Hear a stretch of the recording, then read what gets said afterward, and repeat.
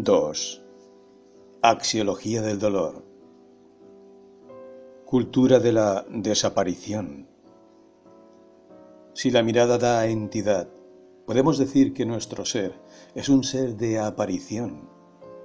Aparecer es todo lo que sucede ante, o hasta podríamos aventurar en una mirada, el reflejo interiorizado del concepto, que es la síntesis de las variables permanentes, es lo que nos precisará más adelante nuestro aparecer ante nosotros. En otras palabras, nuestra identidad. ¿De qué manera funciona entonces este aparecer que determina la mirada del otro?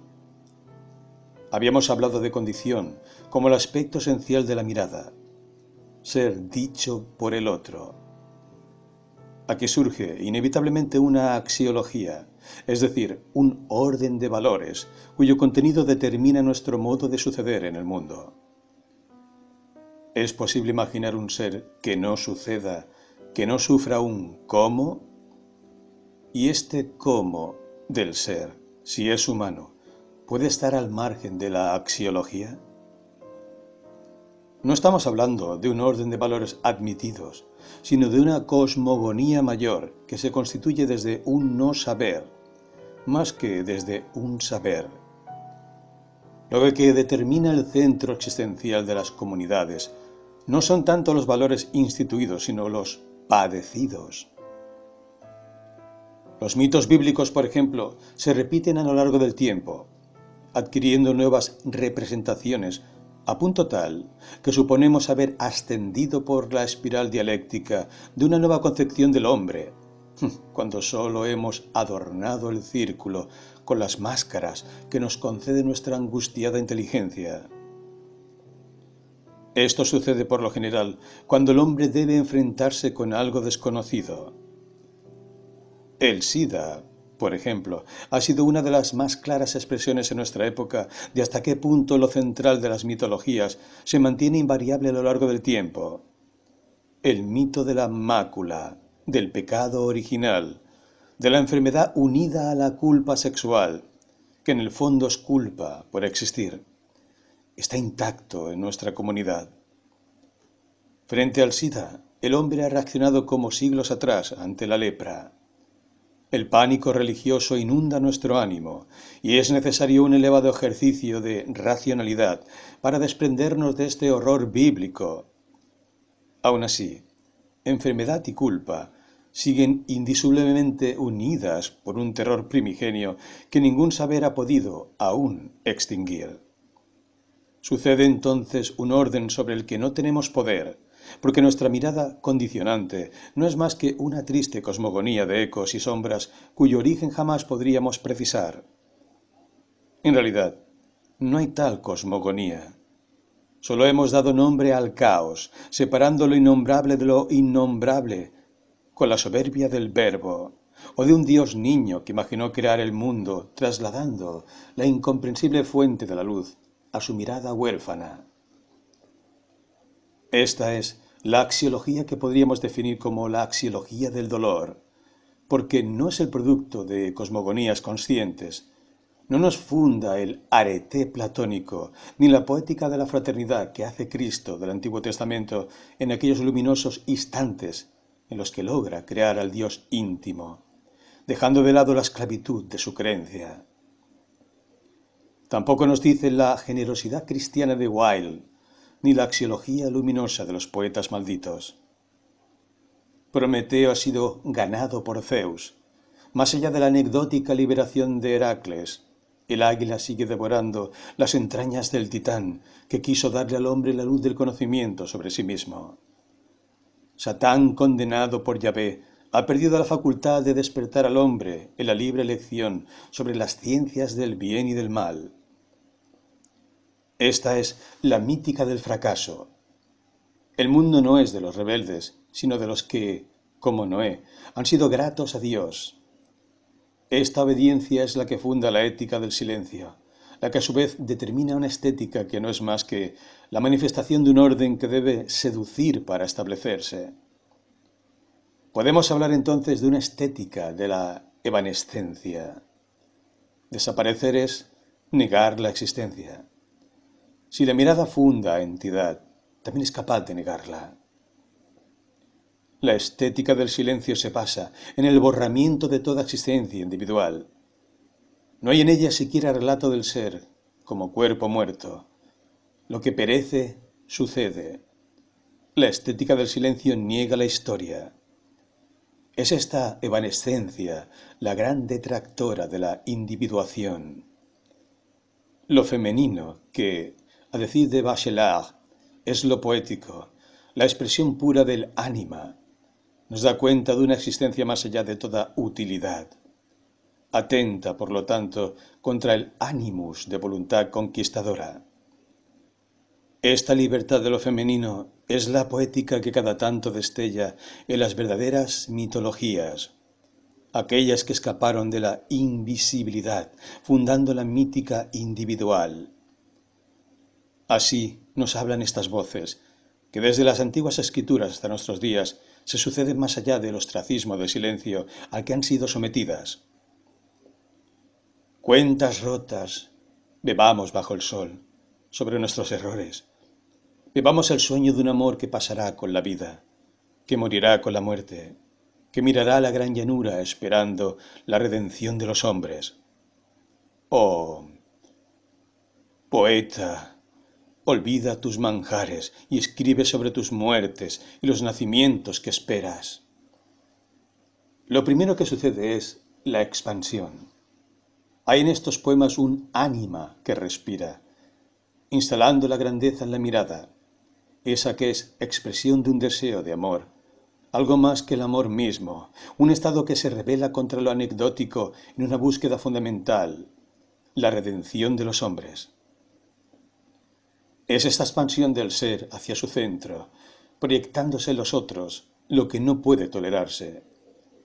El horror de lo femenino tal vez funde su origen en el conocimiento de esta facultad de inundación y desmesura que rompe con la linealidad.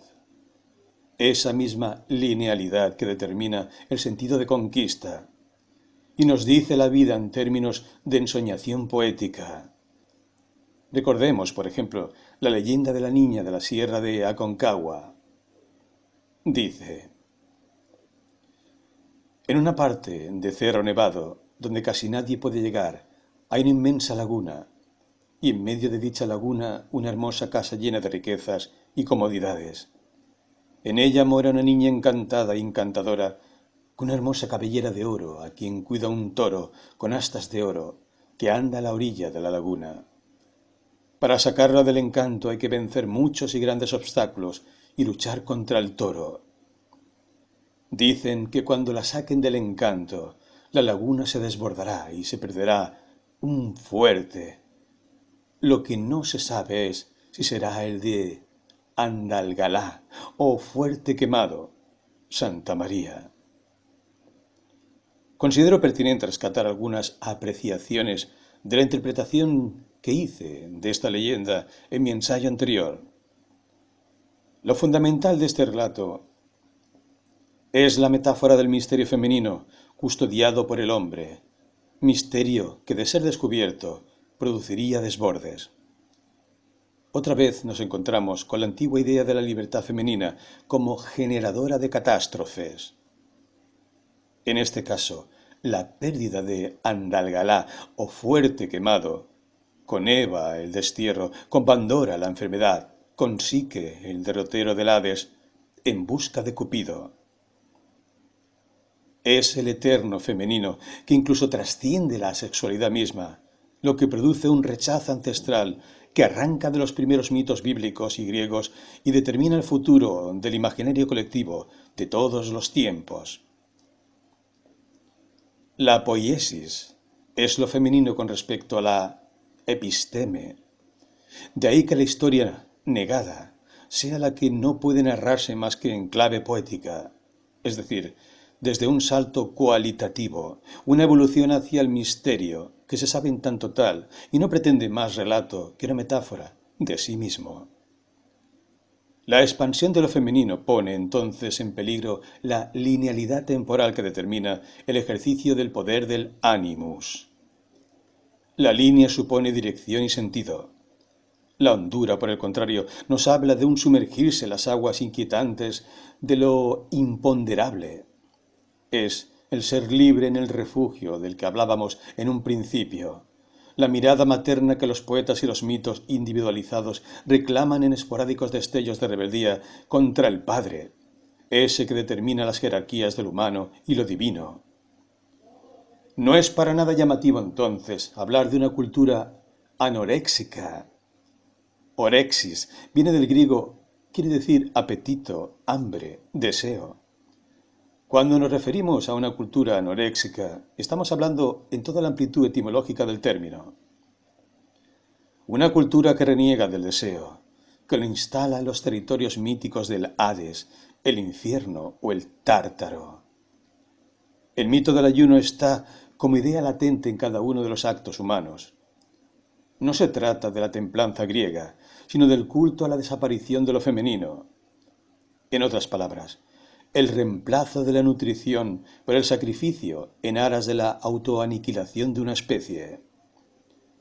La extremada perversidad de este mito consiste en que lleva el goce a la instancia del mal y efectivamente convierte el deseo en un patrimonio de un infierno culpable, cuya única vía de escape es el sadismo.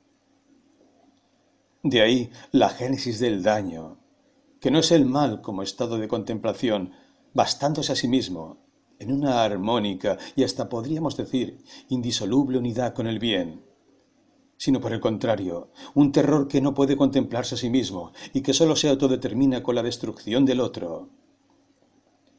La cultura anoréxica es la cultura del daño, que determinada por la culpa hace pasar mal por bien, en un culto de trágica soberbia humana que, en el fondo, no es más que desprecio por la humanidad misma.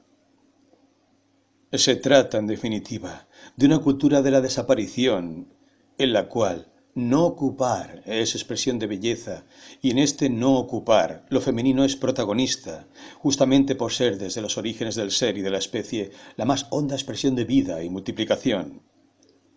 Esta cultura de la desaparición es definida por una estética de la obediencia, cuyo resultado es la muerte de esa esperanza de ser libre en el refugio esa gran mítica de la incondicionalidad por la que se han revelado los poetas de la acción y los poetas de la palabra de todos los tiempos.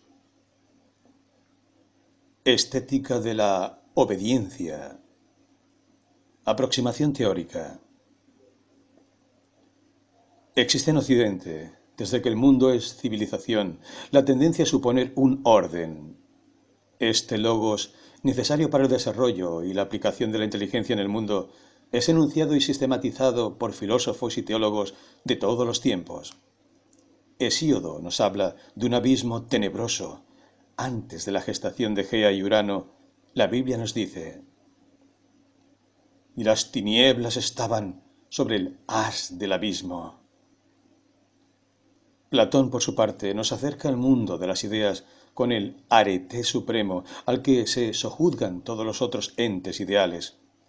Sabiduría, justicia y belleza. Dice en la República.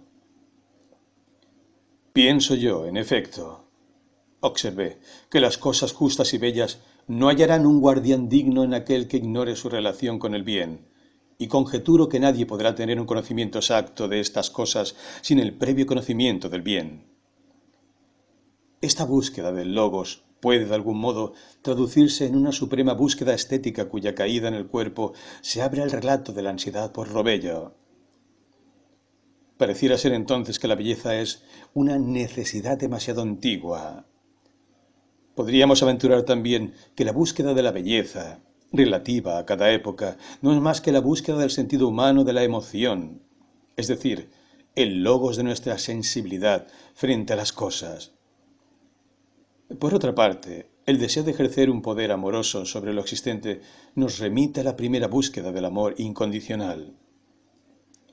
Si tales aspectos subyacen en la búsqueda de la belleza, podemos suponer que no es un acto superfluo todo aquel que se produzca utilizándola como fundamento, puesto que, teniendo sus bases en una materia tan profunda, todo lo que con ella se haga llevará implícita de un modo u otro, esta carga de necesidades humanas ancestrales. Wilde nos habla de lo bello como valor supremo. El gran hacedor de la paradoja no nos engaña. La ética de su noción de lo bello se nota a cada tramo de su obra. Respira su dualidad entre la tiranía de lo vacuo y la sed existencial de la belleza ética. Pero, ¿qué significa esta tiranía de lo vacuo? En el cumpleaños de la infanta se expresa claramente el conflicto. Un monstruo enamorado de una princesa, tema romántico por excelencia. El horror de lo grotesco, la perplejidad ante la belleza física. Esta supuesta injusticia de la naturaleza que cubre con la máscara de un cuerpo deforme a los espíritus más puros. En Wilde asumen características de tragedia. Frente al despecho de la princesa, al monstruo se le rompe el corazón. ¿Hasta dónde puede llegar la injusticia? Hasta el límite de la impunidad. Cuando la princesa ve al monstruo muerto frente al espejo que ha reflejado su imagen, dice, Quiero que desde ahora los que bailen para mí no tengan corazón. Y el chambelán contesta, Hace años que cumplimos con esa orden, Su Alteza. Aquí se impone una nueva significación, aquella que atribuye a la belleza poderes máximos de seducción, alejándola de su sentido primigenio. No es la belleza de Narciso deslumbrado ante sí mismo, preguntando por aquella criatura que ve reflejarse en el agua. Narciso, como el niño pequeño, no sabe quién es frente al espejo. Ama simplemente porque descubre, y su amor es tal que se inclina hacia el agua hasta morir. No es el castigo por amar, es el castigo por buscar una identidad que no ha sido considerada por los dioses como digna de saberse.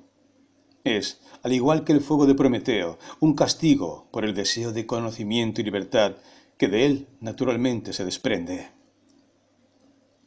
El narcisismo de la princesa es el de saberse parte de un estereotipo de poder, algo que ya ha sido aceptado por la comunidad como digno de alabanza presunción que no tiene otra carga afectiva que la de un amargo vértigo, la de ser objeto de un gran deseo, vacuo en tanto no hay identidad que se descubra, tanto no existe mayor conocimiento de sí que el otorgado por presupuestos del orden imperante.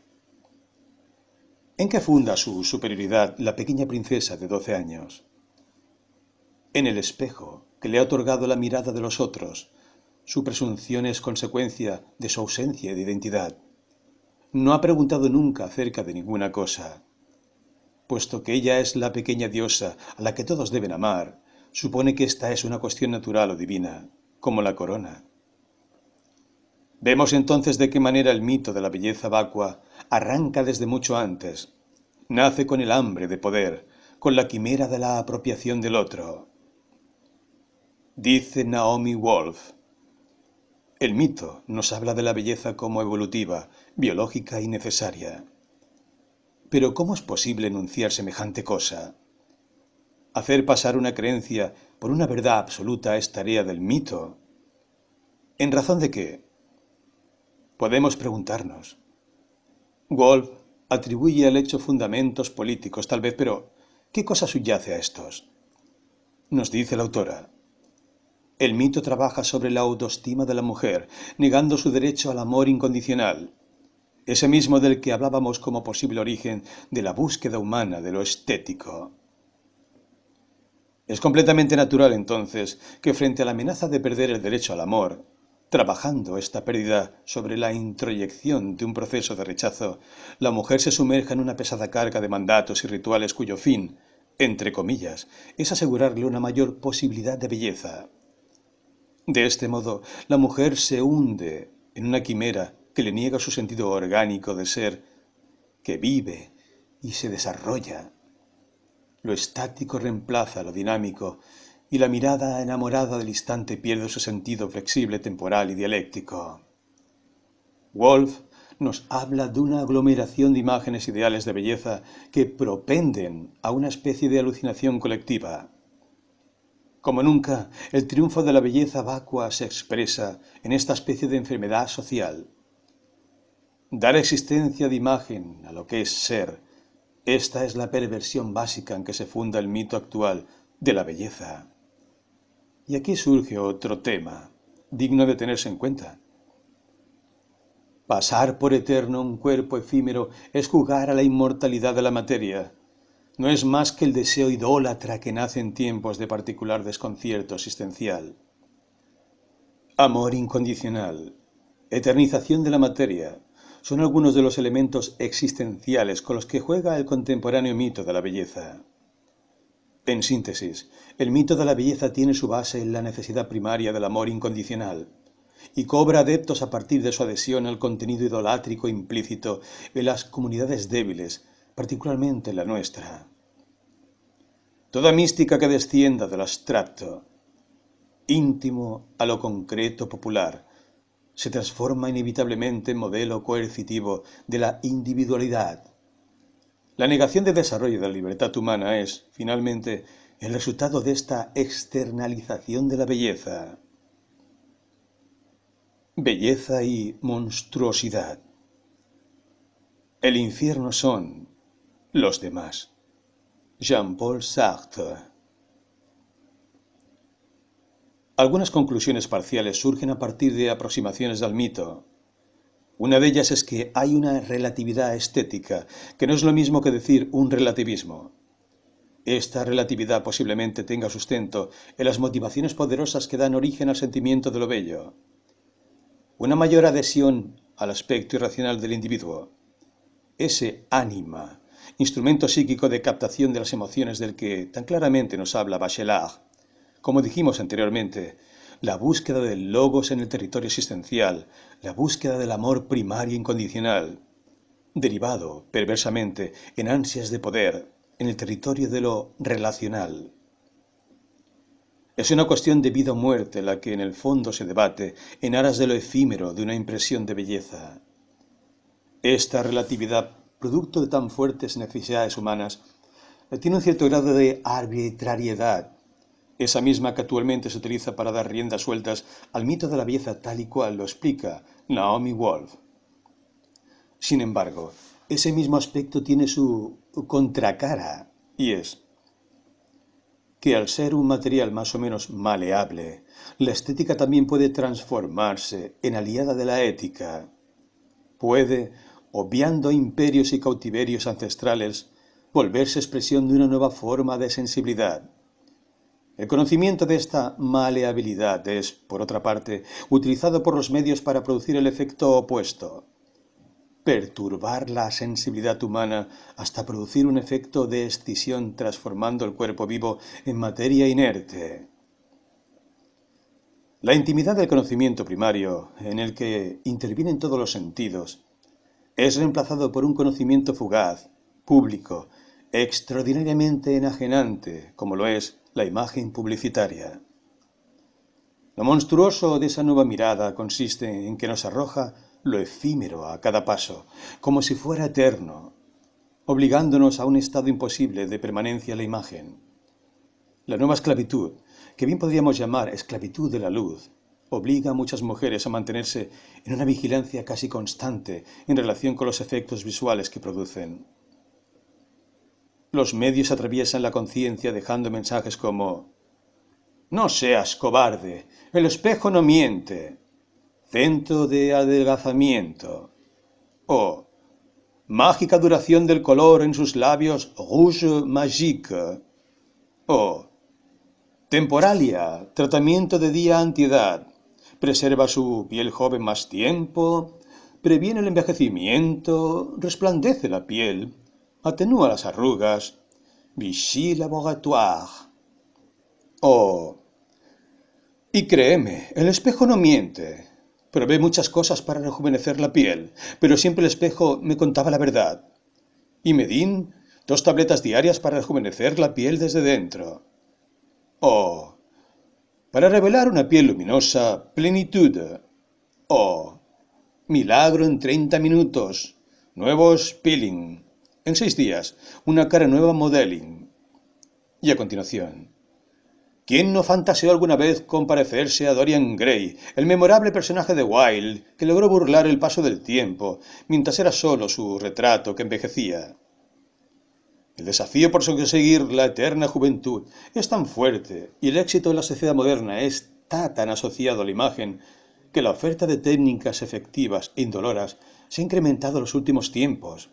Entre las más recientes propuestas se encuentra modeling espejo vigilante y tiránico, acusaciones deliberadas o veladas por un dejo de piedad donde se plantea la posibilidad de redención, ideas de revelación de una identidad divinizada, estática y por lo tanto imposible. El maquillaje permanente del Lick, Juan C. Girard, que nos defenderá de la otra revelación, la de nuestra vulnerabilidad orgánica, humana y en suma culpable de su insolencia de ser irrepetible. La vivencia es ciertamente trágica, pero le corresponde solo un apretado y casi inadvertido espacio de sufrimiento, culpa de sufrirlo nimio. Podríamos llamar a este estado síndrome de la angustia absurda, estado que, si lo miramos con mucho detalle, contiene una alta dosis de sentimiento de indignidad unido a una tensión por el potencial rechazo que podríamos producir con nuestro aspecto. Estado este bajo el que late el mito de la monstruosidad culpable, íntimamente relacionado con la idea medieval de sexualidad femenina. Monstruo viene del latín y quiere decir prodigio, que parece ser derivado de monere, avisar por la creencia de que los prodigios eran amonestaciones divinas. En la Biblia tenemos dentro del Antiguo Testamento algunas indicaciones en relación con la lepra. Al leproso, igual que a la mujer en periodo menstrual, se los llama impuros. El horror sagrado que rodea la lepra es lo que vuelve a estos enfermos verdaderamente monstruos. Si no hubiera existido amonestación divina bajo la imagen de esta enfermedad, los que la sufrían tal vez hubiesen recibido un trato más humano. El romanticismo, por su parte, resignifica el mito medieval del monstruo, adjudicándole el poder de una pasión. Quasimodo, el fantasma de la ópera, Esperpento, son algunos de los tantos ejemplos que nos da la literatura. En relación con estos personajes podemos decir, tienen aspectos comunes que nos dan cierta noción de cuáles eran las inquietudes fundamentales que representaban. Básicamente, la increíble antinomia cuerpo-espíritu, antinomia que también encontramos en el Cirano de Rostán. De este modo, si bien el vínculo primario pareciera ser culpa, monstruosidad, en el romanticismo sucede la necesidad de una nueva respuesta, la piedad, cuya manifestación psicológica está dada por la pasión amorosa. Un eros humano superior al tánatos inicial, a aquel monstruo parecía destinado. Vemos, por ejemplo, en John Merrick, el hombre elefante, esa mano delicada capaz de copiar la miniatura de una catedral, expresión que revela dos aspectos antagónicos a la monstruosidad, delicadeza y sublimación. En otras palabras, el que ha sido amonestado por Dios conserva una huella luminosa de su alma humana, y podría llegarse que al ser una expresión oculta bajo la máscara de la monstruosidad, se vuelve, por contraste, aún más luminosa, como si en aquel mismo rasgo la humanidad revelara su más conmovedora condición. Esa misteriosa capacidad de albergar el ángel dentro del demonio. Es esta ambigüedad dialéctica la que nos da un nuevo significado de monstruo. De igual modo, la inocencia luminosa que Wilde le concede a Esperpento en el cumpleaños de la infanta funciona como la mano de John Mary, un aspecto particularmente angélico se revela, y se revela como si la monstruosidad no fuera otra cosa que la máscara de Dios. Más cerca de lo sublime que el hombre medio, el monstruo romántico transforma su origen de amonestación en un elemento de rebeldía contra los designios del hado. Podemos entonces comprender por qué suele decirse que lo grotesco está más cerca de lo sublime que lo correcto. En el arte sucede que las primeras obras suelen padecer de un halo grotesco, producto de buscar altos fines éticos y estéticos, careciendo de la experiencia y la técnica necesarias. La revelación de esta carencia, la incapacidad de abordar la imagen que le es propia, ya sea artística o no, ese abismo carencial es lo que nos precisa el sentimiento de angustia que puede, en el caso de lo grotesco, entendido como una variable humorística de lo monstruoso, derivar en hilaridad. Lo que en el fondo repugna es el abismo entre lo que se supone debería ser y lo que es. Esta alteración es la que defiende la estética expresionista como revelación de la individualidad. La estética de la alteración es la estética de la individuación y es a la vez la estética que nos permite el movimiento del fluir hacia la muerte. Al mostrarnos su rostro menos esperable, nos templa el alma para la diferencia temporoespacial que inevitablemente la materia debe sufrir. Encontramos en Van Gogh un notable ejemplo de lo antedicho. En un párrafo de sus cartas a escribe He visto además una cosa muy serena y bella el otro día. Una muchacha de tez café con leche, si recuerdo, cabellos cenicientos, ojos grises, corpiño de indiana rosa pálido, bajo el cual se veían los senos derechos, duros y pequeños.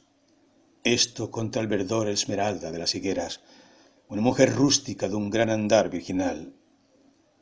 No es completamente imposible que la haga posar al aire libre, así como la madre jardinera color de tierra que estaba entonces de amarillo sucio y azul descolorido.